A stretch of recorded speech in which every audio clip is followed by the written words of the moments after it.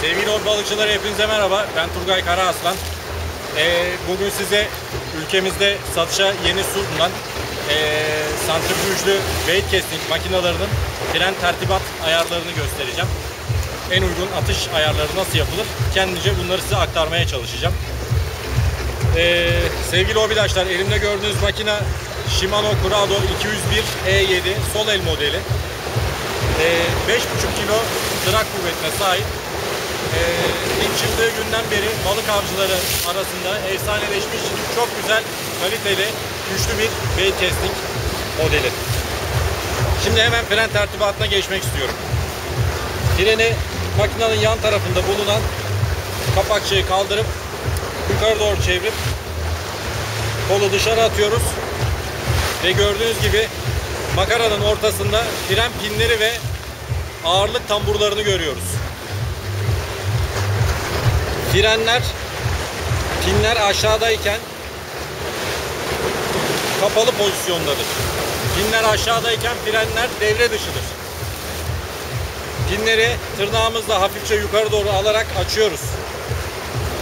Gördüğünüz şekilde. Yukarı aldığımız frenler tamburun kapağın iç kısmında bulunan bu bölgeye bir merkez kaç kuvveti uygulayarak e, kuş gözü olarak adlandırdığımız misinanın makara üstünde fazla tur atıp örgü haline gelmesini engellemekte. E, şimdi size bunu kamış üstünde de göstermek istiyorum. Burada da gördüğünüz gibi Curado'nun bu sene piyasaya verilen 201 G7 modeli var. Curado 201 E7 modeli Kronark adıyla artık piyasada mevcut. E, Curado, yeni Curado G7. Aynı şekilde fren ayarları yapılmış vaziyette. Gördüğünüz gibi. Yeni başlayanlar için en uygun fren atış ayarları 4 tane pin içeride, 2 tane pin dışarıda. Şekli de 2 pin içer, e, dışarıda, bir pin açık. 2 pin içeride, bir pin açık.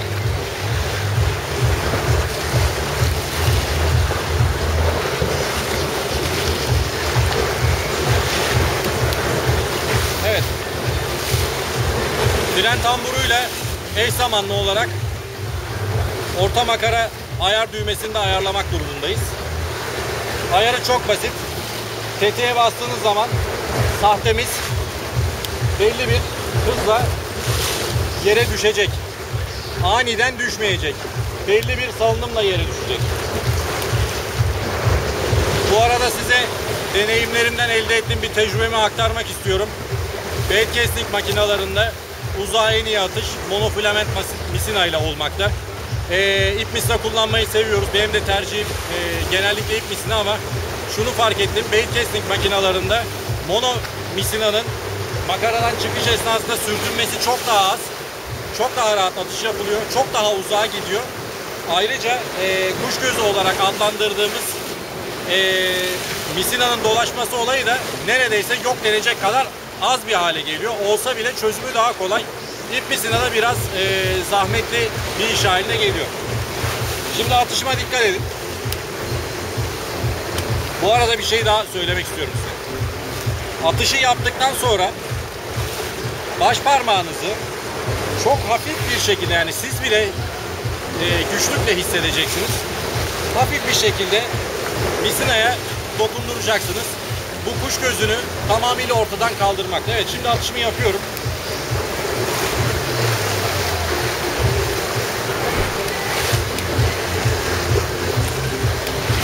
Evet oldukça sert atış. En ileriye atış.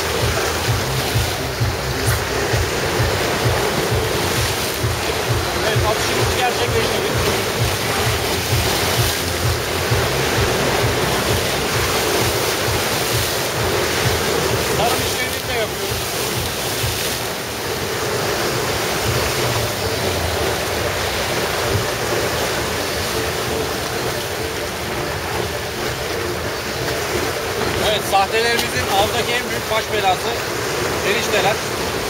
en ufak bir takılmada bütün aksiyonu bozuyor. Bu arada size yine bir tecrübemden bahsetmek istiyorum. Bed casting mak- makineleri 7 turdu. Yani oldukça hızlı devirli makineler. Ee, atışı yaptıktan sonra kolu çevirirken e, hiç farkında olmadan e, sahtenin aksiyonu bozuluyor. Sahte belli bir yöne doğru yatıyor. Ya sağa ya da sola doğru yatıyor. Ve aksiyonsuz bir şekilde size doğru geliyor. Ee, bir de tavsiyede bulunmak istiyorum.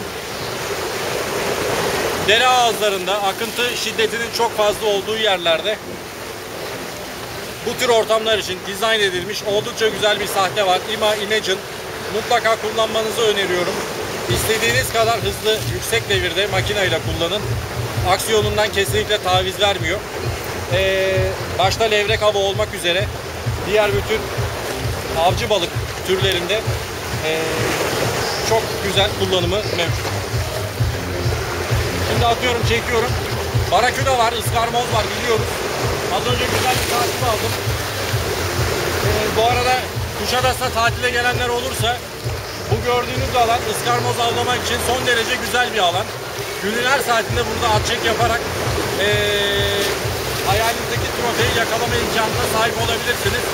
Iskarmoz dışında sabahın erken saatlerinde çok iri kopanalar da giriyor, akya geliyor. Ee, hep gördüğümüz balıklar. Ee, bir kere de burada bir kopanayı yakalayıp maalesef kaya almaya çalışırken kaçırdım. Bir de levreğim var buradan.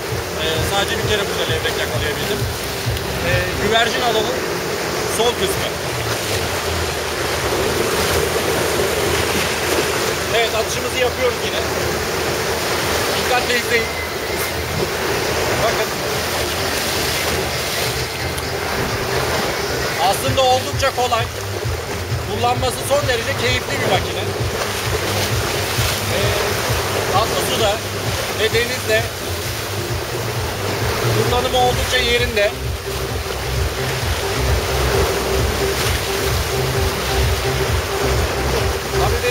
Makineyle en büyük hayalim tatlı suda bir turna avı gerçekleştirmek. Atıyorum gördüğünüz gibi.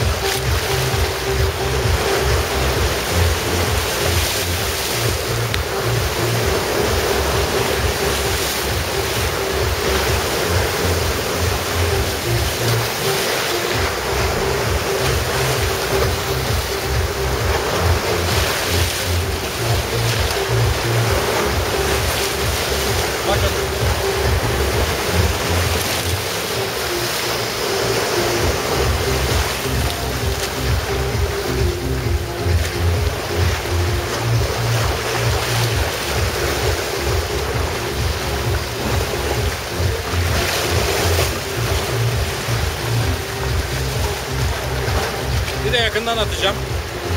Ee, makaradan Michelin çıkış anını görmenizi istiyorum.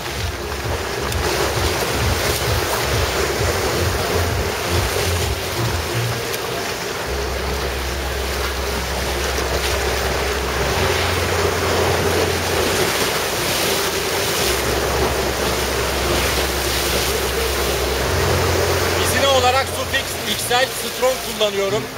0.35 mm kalınlığında. Düğüm mukavemeti oldukça güzel. Sürtünmelere karşı da gayet dayanıklı.